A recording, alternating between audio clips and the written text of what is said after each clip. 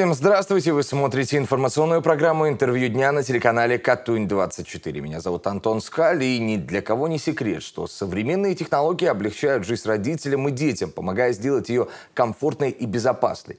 На прошлой неделе компания «Дом.ру» при поддержке управления МВД провела эксперимент «Серый волк на страже детской безопасности».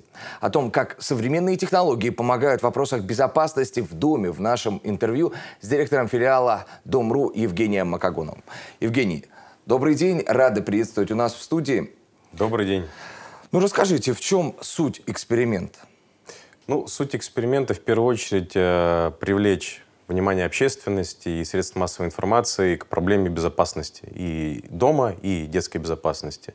Э, ну и в разрезе этого вопроса предложить какие-то решения, которые на данный момент существуют, чтобы этот вопрос э, решить.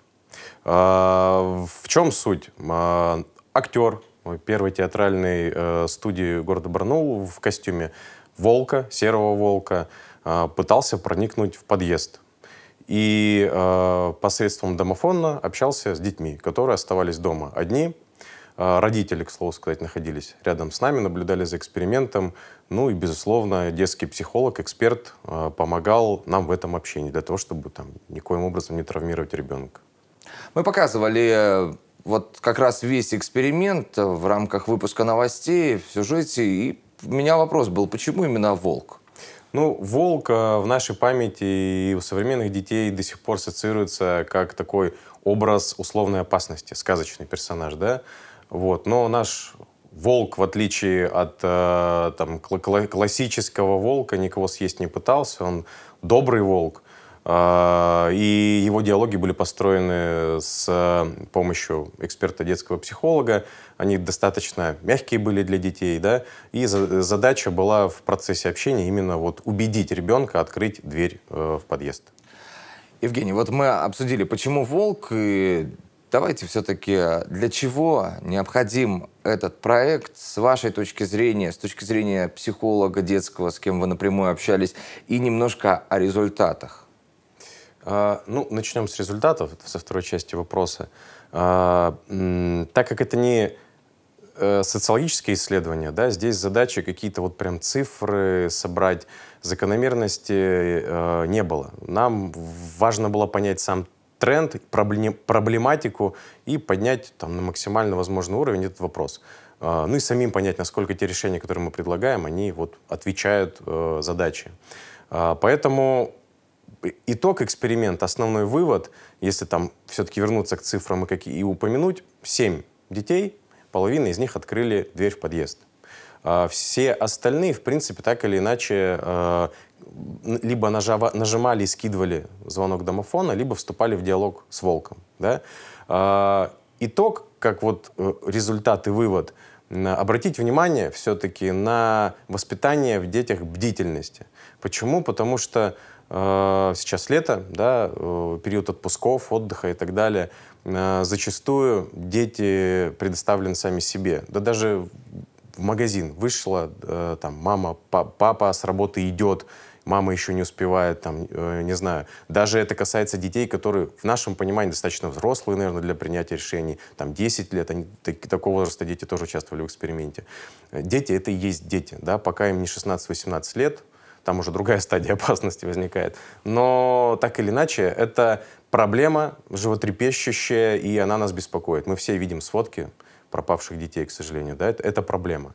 А, и основной вывод здесь, вот, который может помочь, если сейчас поделиться этими результатами, инсайт, скажем так, да, его э, наш психолог всем родителям говорила. Детей нужно полностью, в принципе, оградить от доступа к двери. Одни они с родителями, они не должны подходить к двери и вступать в какие-либо контакты с посторонними. Евгений, знаю, что есть проект «Домофония». Расскажите про проект «Умной домофонии». Что это такое? Ну, мы знаем, что в принципе сейчас очень модное такое понятие, как умный дом, а, комфортный дом, умная среда, digital и так далее. Умный э, дом.ру, да, о котором мы говорим, а, этот проект мы запустили уже в 30 городах, 7,5 тысяч домов были в первую очередь подключены в городе Санкт-Петербург. Там это называется парадные.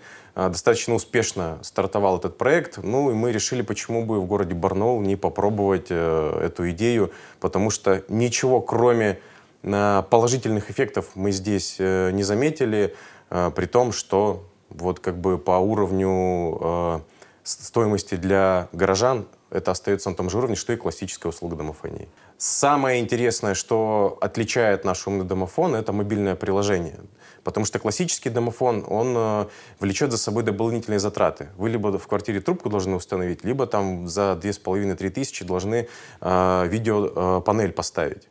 Ну, как правило, люди ставят классическую трубку, и нет у них возможности увидеть, э, кто все-таки ломится там в дверь ни дети, ни взрослые, никто. Наше мобильное приложение, оно позволяет э, увидеть не только дома, да, в, ну, в рамках стен квартиры, но будь вы в отпуске, в командировке, на работе, э, поступает вызов напрямую на трубку. Вы видите, кто там стоит.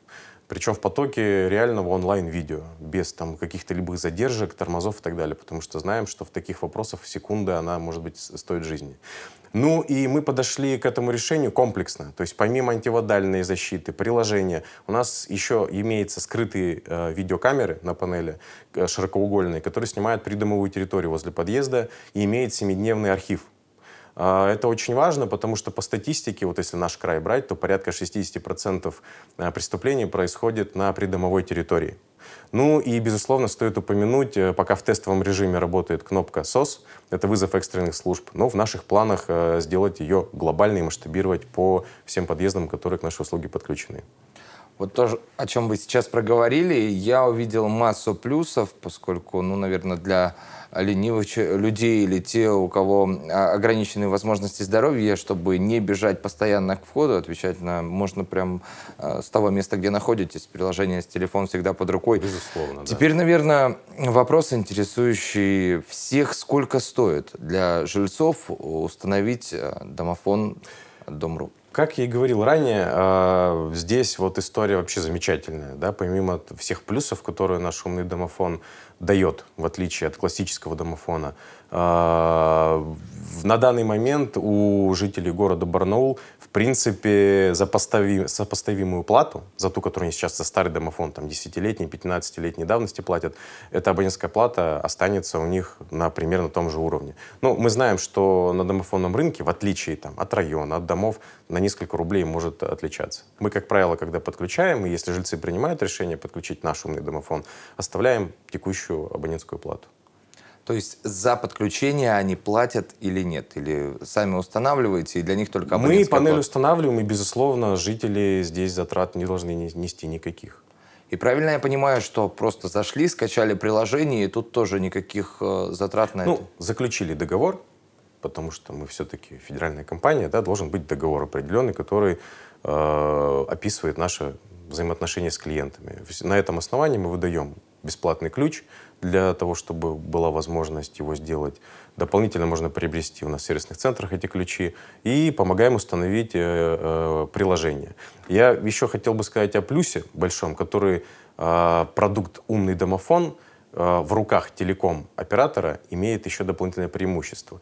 Э, классический э, рынок домофонии, он работает, э, скажем так, с ограниченным количеством ресурсов людских. Если у вас сломается там доводчик, дверь, с панелью что-то происходит, вандализм, то сроки могут растягиваться там от двух-трех дней до недели ну, в зависимости от того, какие у компании ресурсы. Федеральная компания обладает э, самыми большими, в принципе, в этом плане ресурсами. У нас есть проект «Сервисный инженер», Э, когда конкретные люди, технические эксперты, специалисты закреплены за территорией, вот как участковые врачи, э, участковые э, сотрудники Министерства внутренних дел. И они и так поддерживают клиентов на этой территории. Здесь просто добавляется дополнительная услуга, и они очень оперативно, у нас есть определенные KPI, да, по которым мы в течение дня должны решить этот вопрос. Ну, практика показывает, что пока справляемся по тем э, подъездам, которые к нам подключены. Это стандарт нашего обслуживания. Сейчас, я думаю, это интересует не только меня, но и наших зрителей. Куда обратиться, чтобы вот в моем доме, в, доме, в домах наших зрителей появился умный домофон от Дом.ру? Ну, здесь процедура, она описана, в принципе, на законодательном уровне. Нужно провести собрание, инициировать это желание, провести голосование и с этим решением обратиться к управляющей компании. И, в принципе, если такое желание есть на том или ином адресе, мы получаем эту информацию и готовы рассмотреть любую заявку. Более подробно можно обратиться по телефону 722-122 и по всем вопросам мы проконсультируем. Евгений, вам большое спасибо за то, что технологии превозносите в нашу жизнь, за это интервью. Вы смотрели интервью дня на телеканале Катунь-24. У нас в гостях был Евгений Макагонов, директор филиала Домру.